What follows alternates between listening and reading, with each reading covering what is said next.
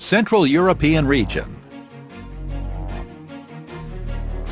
Best Social Enterprise. Mira. Mira Rehab was founded in 2011 in Cluj-Napoca, Romania.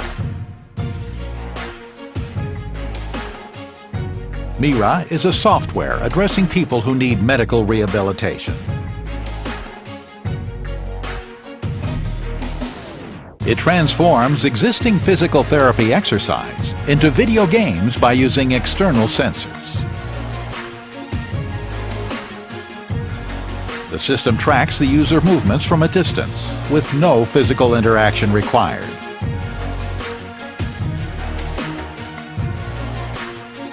The goal is to motivate people to get better in a faster, easy, and fun way. Mira is an example of a company who successfully motivates people to get better in a faster, easy, and fun way. According to the jury, what separated Mira from its competitors was the company's ability to improve human well-being through its highly innovative products and solutions.